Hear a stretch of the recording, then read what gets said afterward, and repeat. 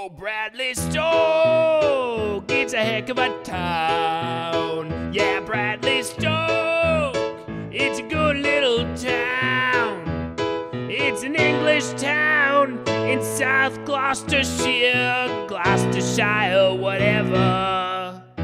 Bradley Stoke is a good place to live.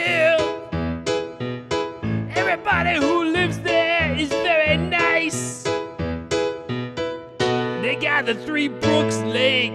It's a good old lake, oh yeah. Bradley Stoke is a nice little town. A lot of good people like to attend the community festival. It's a Bradley Stoke Community Festival, oh yeah.